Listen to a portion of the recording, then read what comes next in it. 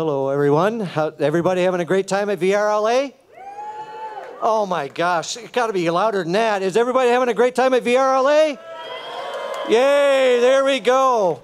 Well, it's an absolute pleasure to be here um, today, and it's. Uh, it was, matter of fact, it was really exciting to be here because when I left Buffalo, it was 18 degrees and it was snowing terribly.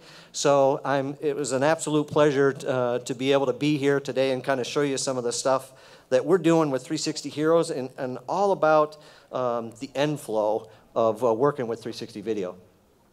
So let me just make sure I got the right window here. So what I'm going to try to do today is kind of show you a little bit about the different types of rigs that we're using and what we've developed over time. And uh, what I want to explain is the, the mission of 360Heros and what we're here for. And what we want to do is we want to create and build and inspire others around 360. We know VR is growing really well. And behind that, we've, we've learned a lot of things over time. So I'm going to kind of explain to you what has happened to us over the last three years. And a lot of that has been good, been bad, but I want you to give you a little history about where we came from so that you can kind of see what we want to inspire into. We're actually founded in 2011, and we actually started working on this uh, in 2007. And a lot of my inspiration came from Steven Spielberg when he said, Someday in the not too distant future, you're going to be able to go to a movie and the movie will be all around you. And the movie will be over your head, 360 degrees, every way you look. And it was very interesting when he said that because I was actually working on a particular project, and I was an aerial photographer. Being a pilot and an aerial photographer, I was trying to do a lot of things were lighter than air solutions. So the problem is, is here you can see I was actually working on a DLSR camera system, but I could only carry 7.2 pounds. And a lot of these concerts and stuff that we were doing at that time, they wanted us to be in the air for a long time. And they said, well, can't you just fly your drone over people, you know, and be able to do this concert? And I'm like, we can't do that. So a lot of it was we used this helium balloon to be able to do that. But then more and more people started asking back then is how can I make the area larger? How can I see everything all around me? And in doing that, we've started messing around and building a whole array of different rigs. And these rigs go from the very basic system, which is like around 200 bucks, all the way up to around $1,000. From 2D, 3D, all sorts of different types of experiences. And with all of that, we learned different things from basically failing many, many times. And what we did was took all those failures and was able to bring it back to you so you can actually see everything that we were doing. Now, just a quick show of hands how many people here have actually heard of 360Heros? Excellent. Okay, how many people here have actually filmed a 360 video of some sort? Great, okay. So what I'm going to do is I'm just going to give you two one-minute little videos that kind of tells you about the gear, what it does and how it works. And then I'm going to tell you about how we physically create it. And then I'm going to show you the experiences that we did doing that. Okay, 360Heros is all around creating content using a GoPro. An average GoPro has a viewing angle of around 170 degrees. And what we're going to do is we're going to take six of these GoPros, snap them into our 360Heros holder, and allow us to be able to create 360 degrees horizontally. And while most 360 video gears can actually see 120 degrees vertically, using our gear, what it allows you to do is see a whole 360 degrees vertically. And what that allows us to do is to be able to see 360 on the horizon in the rear world, and then at the same time be able to look up, look down, and see everything all around you. And the interesting thing here is I'm actually wearing that gear and talking into the camera. So it, what allows you to do is to be able to hide that gear um, that's not present, which is kind of slick. So you can kind of be able to get really tricky in reference to how you do that. Now, how we actually create 360 video. It gets a little bit more interesting in how that works as well. So we start off first by taking six GoPro cameras. We're going to pull them out of the holder. and then we're going to use six micro SD cards inside of there. We use the GoPro remote to be able to turn them on and off um, automatically so that they're somewhat in sync. Now what we're going to do is take these six um, camera cards and we're going to break them out into five different takes. And again, we used a GoPro remote to try to turn these on and off at the same time. Now what we're going to do is take the first take and strip that apart frame by frame. So we got 30 frames per second or 60 frames per second. And we're going to take just one frame out of there.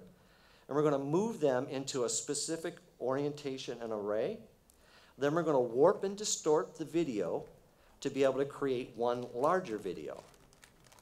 Then once we take that one larger video, we're going to put it all back together again at 60 frames a second, put it all back into one piece.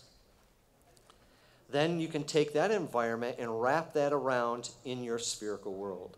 So you can use an iPhone, an iPad, uh, Android devices, or any other types of devices, or the web, and then view it in all those environments, including the Oculus Rift. So that kind of gives you a quick overview of how we're creating the content. Now, associated with all the different things that we are doing, from 2011 till now, we have done productions all over the world.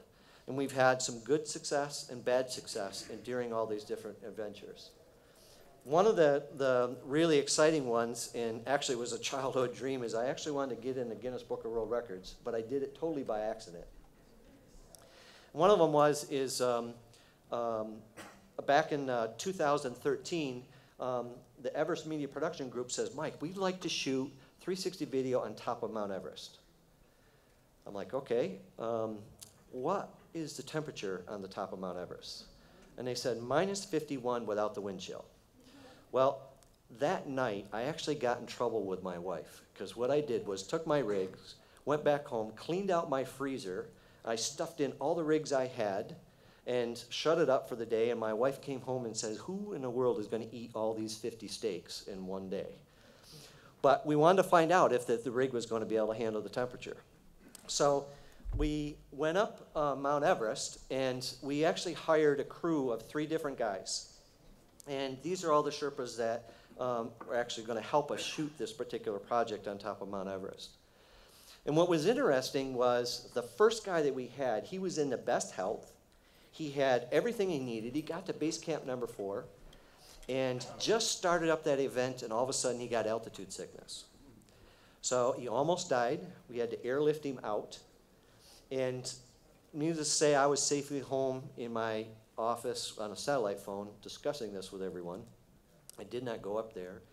And they called me up and says, Mike, what are we going to do? We got the whole crew there, and we got to figure out how to get this to happen. I says, well, let's train another Sherpa, and we'll send him up. So while I was talking to him on the phone, I says, listen, when you get to base camp number four, and again, they're thinking about living. They're not necessarily worried about my little camera. I said, when you get there at base camp number four, just take it out for me, make, turn it on, make sure it works, okay, and then continue the trek the rest of the way up. That's exactly what he did. He came back to base camp number four. We looked at the footage, and all I seen and heard was pitch black, and heard him go,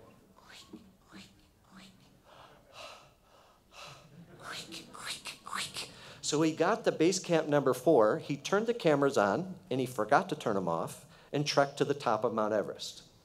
And got up there, the batteries were dead, of course, okay?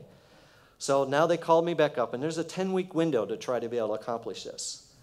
So we got two and a half weeks left, and they called me up. I said, What are we going to do? I said, Well, third time's a charm. Let's see what happens. So we trained the third Sherpa, and he went up to the top of Mount Everest, and he made it he actually got 45 minutes of footage on the top of Mount Everest. The problem is, is we got all the footage back, and I said, this is what you're supposed to do. When you get up there, what I want you to do is just, it's a 360 camera. So all you got to do is turn it on, hold it up, and let it film. So what he did was turned it on, held it up, and went,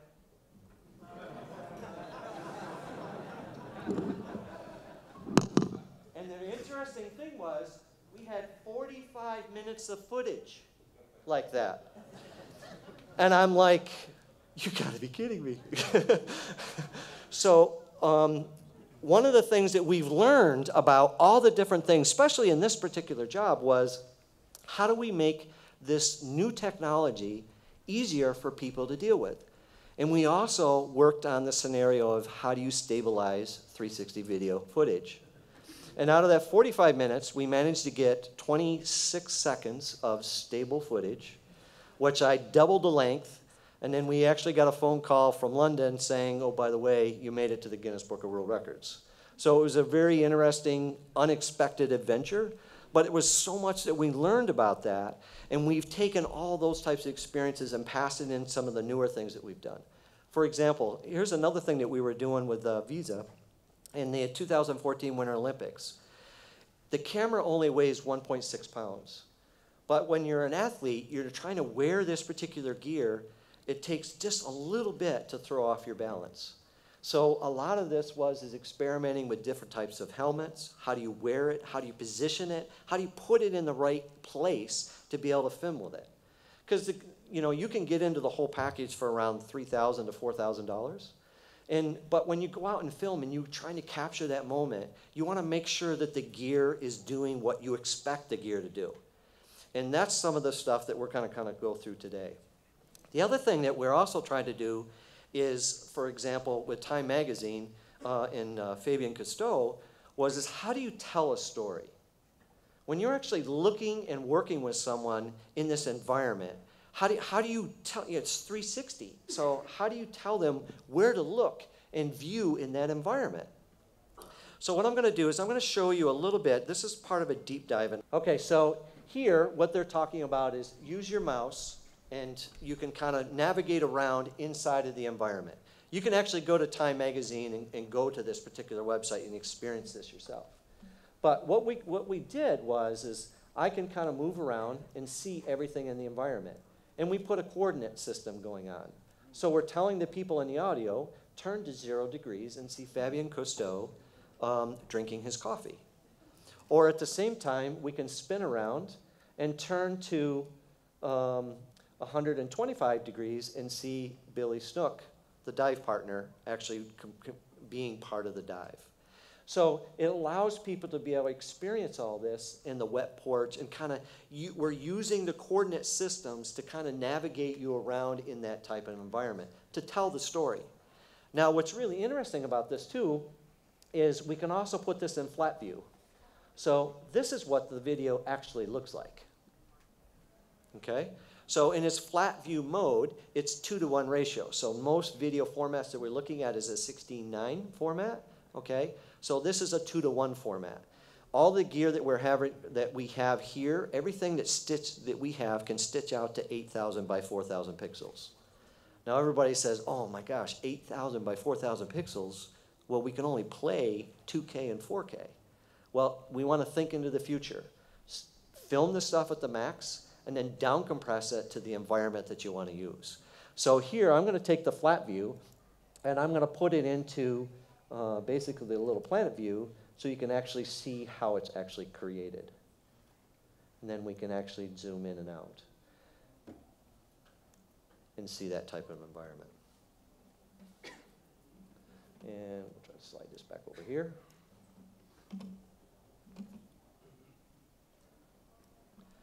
Okay.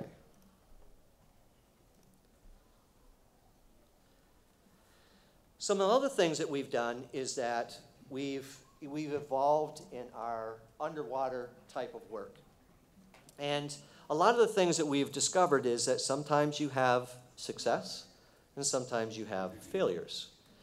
And what we've learned that is that if you do have, try to be able to adapt, figure out what you did wrong, and then try to fix it. For example, we were in New Zealand here and we were we, flew the whole crew out and it was really exciting because we were in the water for less than two minutes and we forgot to put the safety cable on and needless to say this is now 800 feet down and yes he ate my $10000 prototype rig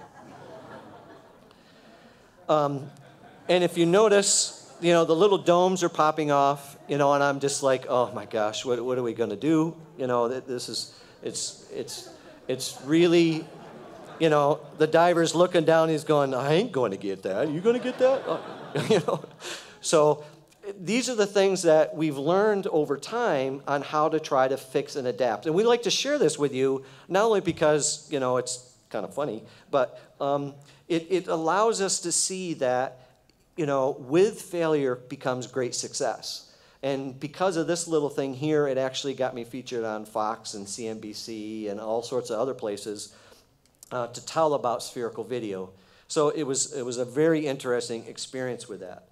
But now if you, you get into the why you really want to do underwater uh, technology. And um, I want to thank uh, Bill McDonald for this. As a matter of fact, Bill, if you could stand up real quick. Um, Bill McDonald is a 2014 Nogi Award winner. And he's done incredible things in, in working with the environment underwater. And Bill is actually one of my testers of the 360 Abyss, the version 4 rig that we actually have up here. And it's, it, take, it took us several renditions to try to get it right. But what's really nice about this technology that we have today, and compared to the older technology, is what we can do with this gear um, without ever touching the cameras. So, for example, in the past, when we were filming with this gear, we would have to be able to turn the cameras on before we would leave in the boat, dive in, swim like heck to our particular um, project underwater. Hope the GoPros are going to continue to run that long, okay? Not that I'm saying anything bad about the GoPro stuff because I absolutely love the gear, but it's just the technology that we're dealing with. Well, what's really nice now about this particular gear, and we'll show you after the show, is we can take now a little blue magic wand,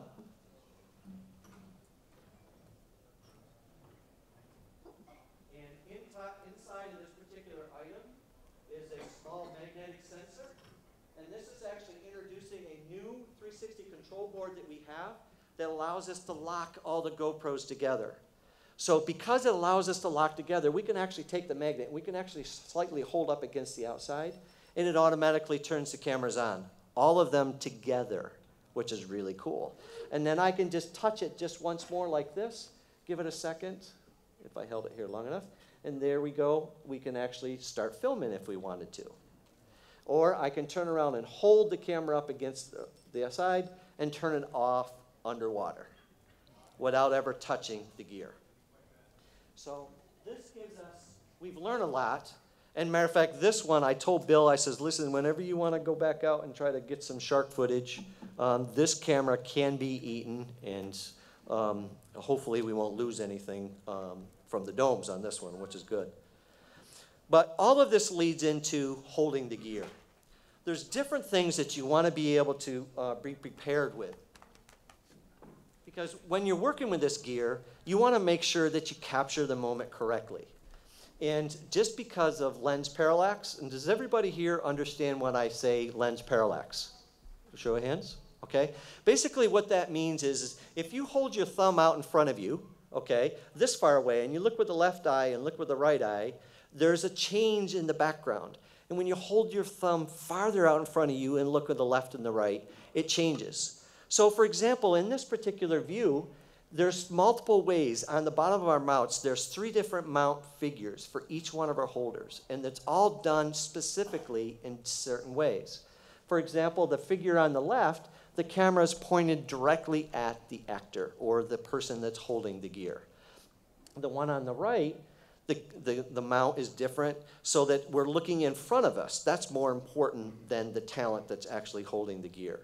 And the reason why you want to do that and you want to get it right is because if you plan on jumping off a bridge, you want to make sure the gear is properly mounted. Or if you're at a special scene with a tiger, you don't want to get back to the studio and realize that you're, you just filmed directly on the scene. So if you take a look at this particular picture that you have here, notice this camera is pointed right at the, the line. Okay? If he had the camera turned the wrong way and it was on the seam, now the lion is not going to be properly in the stitch. So it's really understanding the different ways to being able to film with the gear. Here's another thing flying it below a drone okay? Again, the unit only weighs 1.6 pounds, so you can carry it below a drone. And usually the DJI 750 or higher will be able to carry this gear without a problem. There was a problem that I had when we were working with this gear. And one of the things was, is this is a great experience because I can actually be flying below the drone and I see the drone, okay? Which is really cool. So I can pan, tilt, zoom around, kind of get in and out, and see everything that's with that experience. But I was assessed. I, am just like, there's got to be a way to get that, that helicopter out of the picture. How, how in the world can we do that? Okay? So what I'm going to do is I'm going to slide this back over here. And with our engineering group, we turned around and we built this. Okay? This is the flying orb. And we had all sorts of problems that we figured out when we were trying to mess with this thing. Okay? And we actually built this about a year and a half, two years ago. Um, and the problems were we, we put all the cameras on there, but we had to deal with vibration and harmonics. And how do you get all that stuff out of there? But how, do you, how can you utilize all that? Well, after numerous, numerous attempts, we figured it out. And we were able to do something like this.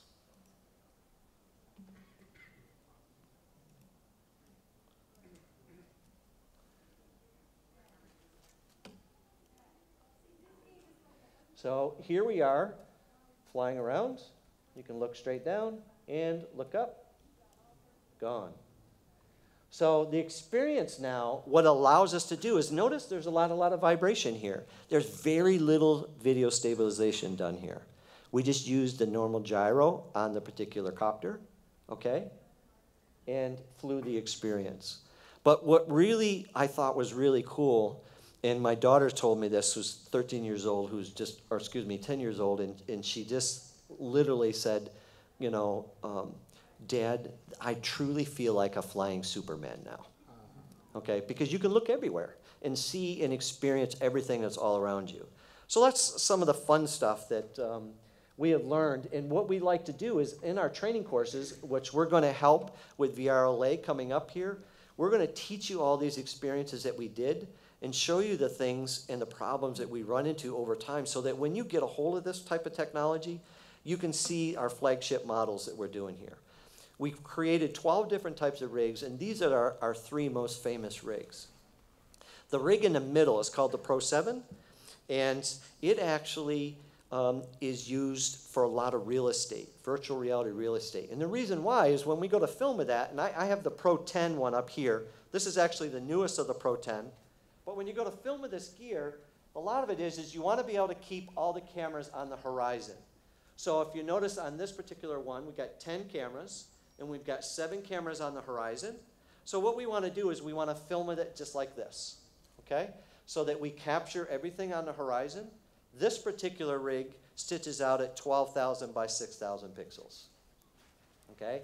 And with the four blacks, you can get that at uh, 60 frames a second uh, and get some incredible content with that. Now, what's really exciting is we've built this technology for the Abyss to be able to turn it on remotely. Um, the GoPro remotes sometimes work and sometimes they don't. And so the, lot of it is, is how do we get away from that?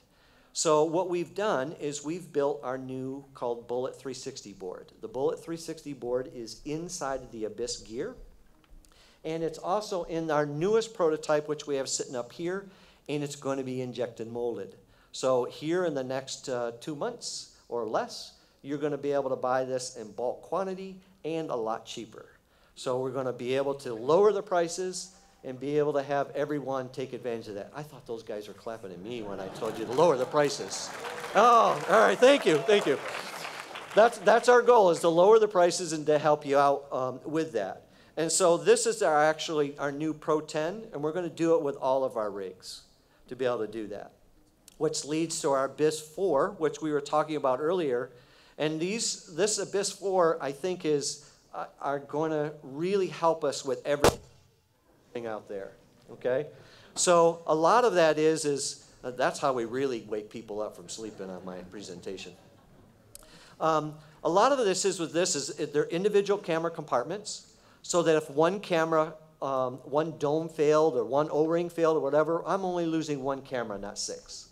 The other thing is this is rated to 1,000 meters, so we can go 3,000 feet with that.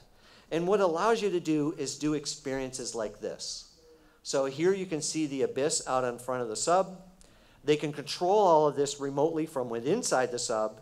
And because of the different mechanisms that we've built uh, around the abyss, it allows you to be able to control and do anything you want within the environment that you want.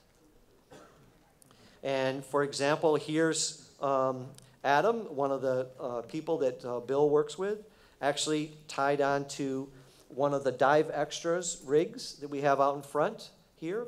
And what it allows you to do is be able to experience um, this inside of environment. That's kind of neat here. You can see Adam kind of having fun in the pool, pulling himself around, and getting some different types of experiences with this. And this is just some experimental footage that we were trying to show you in reference to what you can do with this gear underwater. So where does it go from here? We basically have a production environment, we have a camera file management environment, we have video stitching, we also have other post techniques to be able to clean up the gear. But what's more important is that is the first two scenarios. And that is is media management. So as you can imagine, if I'm shooting with this Pro 10 rig, okay, and I have 10 cameras and 10 takes, I'm dealing with 100 files. Now, how many people here actually have my 360Heros gear? Okay? Uh, how many times have the GoPros worked 100% of the time when you hit the remote? No hands. Okay? So, and it's not, again, it's not to say anything bad about the, the, the cameras, it's sometimes it doesn't work. Okay? So what CamMan does is that when, if you shot 10 takes and you got 100 files and it goes to start to ingest the files, what it allows you to do is use these multi-port readers. So you can take all these cards and stick them in and ingest all this data all at once. And during the data ingestion side, it's actually counting all of the takes and the frames and everything that with each one of the videos that's coming into the scenario. So that when you go to look at the videos, it will actually say, hey, just to let you know, while on set, out of these 10 takes, take three and seven didn't work. And you can do that inside of about 10 to 15 minutes. So now you know you can safely walk away from the set and either reshoot that or not reshoot that. The other thing that we've done, if you shoot for a long time with the GoPros, okay, you have a four gig limit. Okay, it's actually not the GoPro that causes the problem, it's the, the FAT iOS file management side that causes the problem.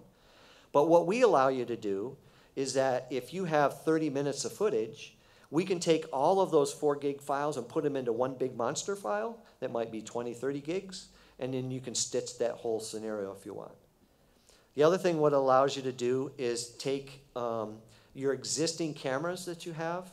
If you, if you don't have CamMan on site and you just said copy all the files into camera one folder, copy all the files into camera two folder, and so forth, this will take all those folders and put it into a format that's very easily manageable. So it really helps you to do that type of content easier. The other thing it allows you to do is technology is constantly changing. We have uh, the DK1, the DK2, the new Samsungs. Um, we have different types of players. We have web players and so forth. What this allows you to do is when you get done stitching, you can drop this software back in here and tell it what device that you want it to play it on, whether it's these types of devices or large drones, and it'll automatically take that footage and prepare it for that environment for you automatically.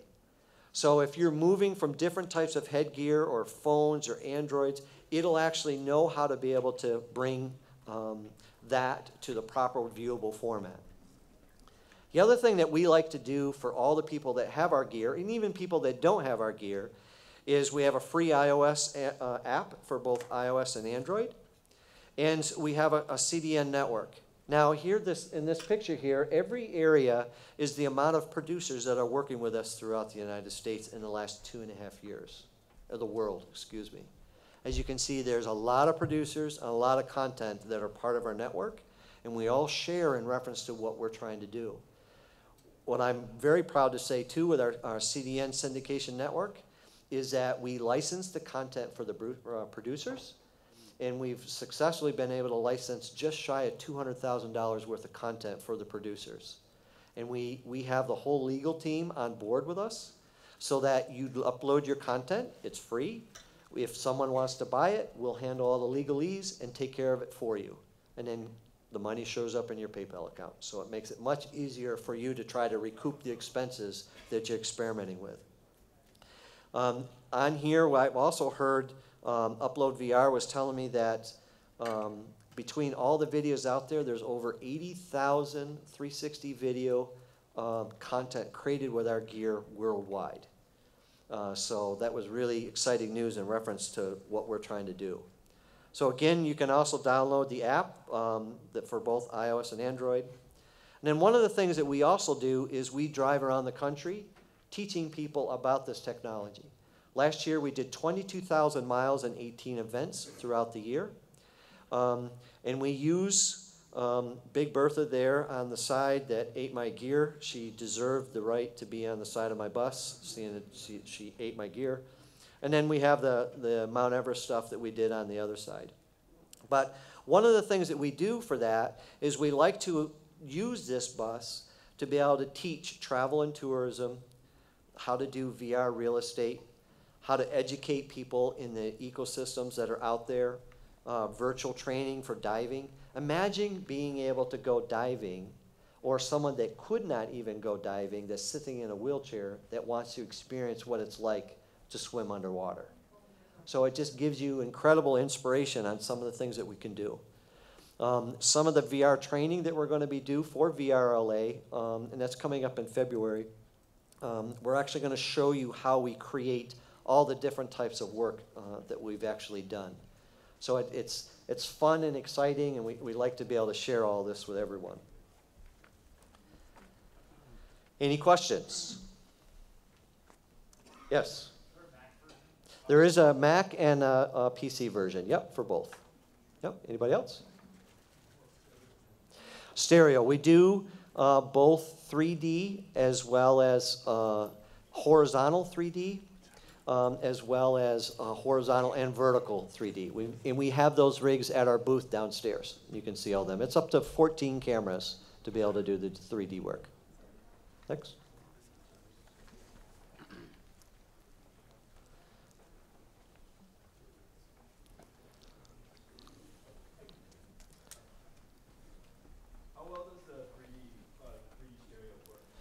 It, it is tricky. I, I will tell you that there is an art to it, but we sell what they call a Pro 12H. And that particular model, what that allows you to do is um, it stitches 3D on the horizon, but it shares the top and bottom camera. So the left and right eye, when you go to stitch, these two will match perfectly, but when you look on the horizon, it's beautiful 3D. So, and that's done with 12 cameras. Yep.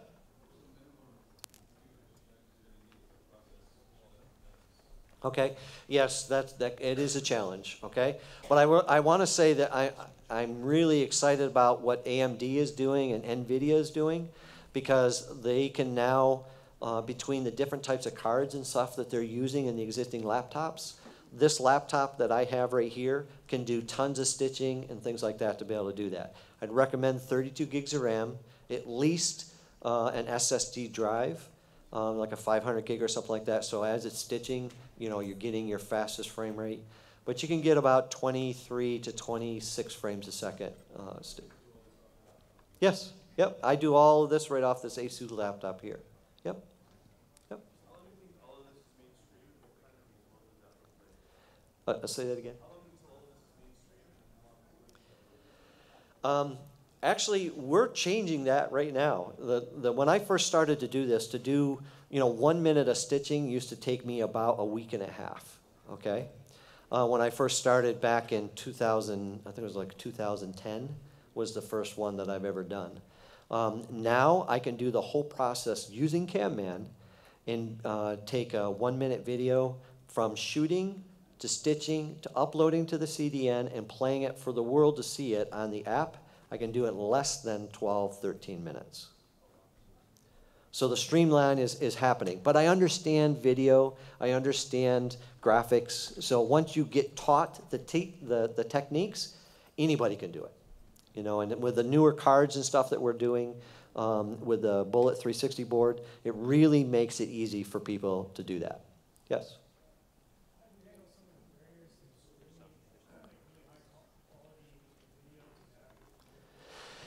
Yeah, that is a that is a very good question. Okay, one of the things that we do with our content network is that we tell everybody to upload all of your content today in 4K. We want you to stitch all your content at 8K. If you're using the content, stitch it at the maximum resolution. Trust me on this, because this has come back and helped us greatly for selling our content and using the content later. But one of the things that you can do is on our iOS app, when you go to grab the video, you can say 1K stream, 2K stream, uh, 4K or 2K download, or 4K download. All right. Every device is different. Um, we've learned uh, actually the hard way on the Androids because I thought I mastered it, and next thing you know, you know the video doesn't play on three different Android devices. Okay. But it's all with trial and error. But when you upload the content in 4K, to our particular servers, we actually convert that one upload to nine different formats. So they're recognizing iOS, we're recognizing, you know, all the different types of browsers, and then we, when you go to browse it from us, you can change it. Now, with the advent of YouTube 360 and uh, Facebook 360, you know, they're going to help us with that greatly. But one of the things that we try to do at 360Heros is give you the ability to do all this in a one-stop shop uh, and experience all that so you can literally see what it takes behind the scenes to pull all that stuff off. Anybody else? Yep. Uh, I guess uh, I would like uh, to uh, have a, a, greater discussion about syncing the GoPros. Like, what are your, um, you know, just techniques? Tricks. Yep. Okay. Um, well, if you're doing it underwater, it's actually really easy because the, the diver is breathing. And he's literally putting the audio of him breathing on every single one of the cameras. Um, so that's awesome. But one of the things that we did, and, and I'm actually I'm very glad you brought that up, is our new control boards um, have a built-in audio buzzer, so that when you click the to start recording, three seconds later it emits a four high pitched tone. And it actually puts spikes in every single one of the audio, and then you can use the audio to line up, and you got it. The, our control boards are not gen locked. Um, we're working on a gen lock version right now. Um, the version of GoPro and the OS that they have on the GoPro doesn't allow good two way communication. But what the control boards do today at 120 frames a second, it's plus or minus five frames when they go to turn it on. So it's much closer than the GoPro remote now, which could be anywhere between 50 to 200 frames off.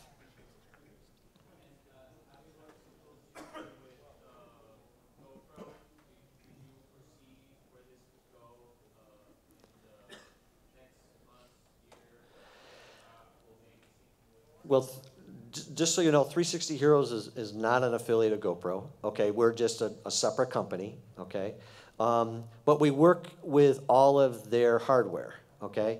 And there's going to be an announcement at NAB coming up um, of some new rigs that we have that's going to be working with camera systems that are absolutely incredible for dynamic range um, as well as resolution.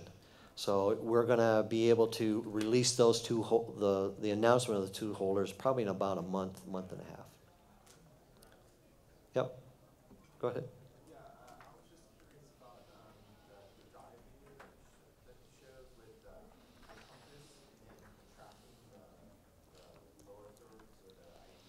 Yep. The, we actually, all that was done in post work in After Effects. So all we did was lay on the grid, just the, the, the compass grid, we just laid it on directly. And then inside of the player, when the player goes back, we tracked the audio mix, um, uh, the audio mix to the position. So when we said turn to 30 degrees, in the player, we physically forced the video. We took the video over, turned it to 30 degrees, and then it continued to play from there.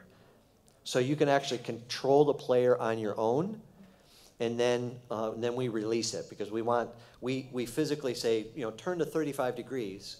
So we'll force it to that position, okay, and then we let go. And then we let them continue to be able to look around and experience that environment. It's a little harder though on like the, the Gear VRs and stuff, because I can't physically turn the person, okay? And if I, we've actually done some experiments, um, and, and kids are great to experiment this on because, you know, they can handle it.